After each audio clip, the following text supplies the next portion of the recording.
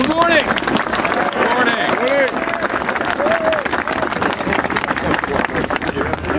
This past Monday, I decided to visit the Lexington Green to pay my tribute to Captain uh, John Parker. As I was walking on the green, I thought to myself, you know what? The founding fathers of the United States and Chairman Mao have one thing in common. They all thought guns are very important political instruments. However, their, their similarities ended there.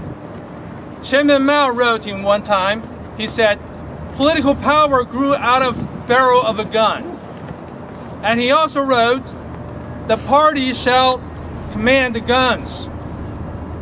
However, in 1791, James Madison and his compatriots, believing that the power of the government is derived from the consent of the governed, and they wrote, the right to keep and bear arms shall not be infringed.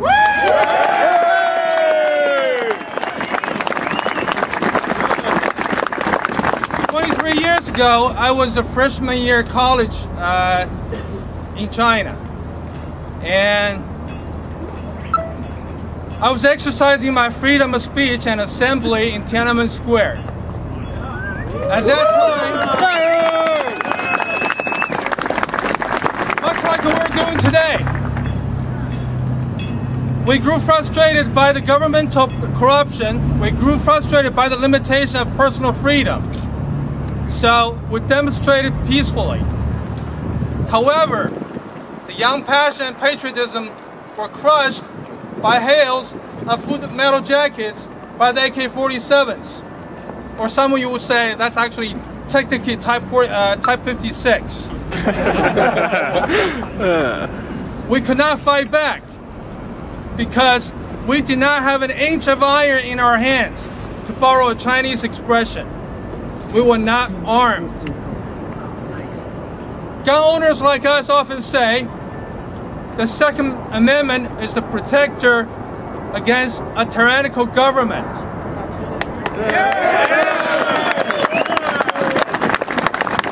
Some, some would argue that a man with a rifle has no standing against the military technology and machine of today. However, I would say that 20 million citizens in Beijing sure wish that they had some rifles to dispense at those days. Freedom is not free. Liberty has costs. We recognize that in this free society, criminals or mentally deranged could get weapons and murder innocents. The answer, however, is not to disarm the law-abiding citizens. That's right. Not only criminals and the deranged will violate the laws anyway, more importantly, because when a government turns criminal, when a government turns deranged, the body count will not be 5, 10, or even 20. It will be in the hundreds like in Tiananmen Square. It will be in the millions as proved by the 90-year rule of the Chinese Communist Party. Our constitutional republic may look fuzzy and loving today. Well, if you think so, I got a TSA agent you'd like to meet. But keep in mind that absolute power corrupts absolutely. Yeah. And when government has monopoly on guns, they have absolute power. Do you know that Chinese constitution guarantees almost all the nice things that we have here? It is written in Chinese constitution that Chinese citizens enjoy freedom of speech and religion. They have human rights and property rights, and such rights cannot take away without the due process of the law. And do you know what? Chinese people do not have the rights to keep and bear arms.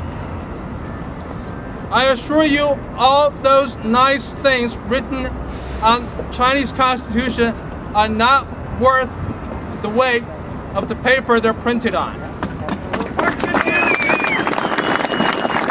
Because when government has all the guns, they have all the rights.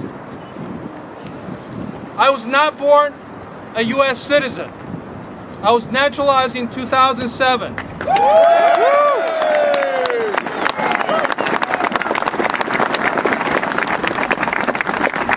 2008, I became a proud gun owner.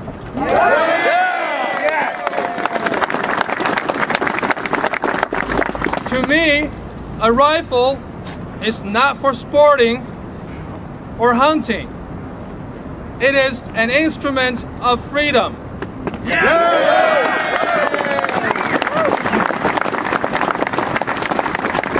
guarantees that I cannot be coerced, that I have free will, that I am a free man.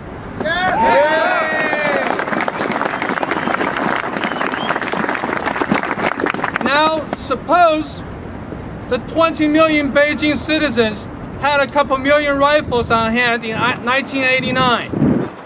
How many rounds should they have been allowed to loading to their magazines? 10 rounds? No! Seven rounds? No! How about three rounds? No! 28. Do, do not give up the fight, my friends. It may be a small step that you give up your rifle a or a 30 round magazine, but it will be a giant leap in the destruction of this great republic.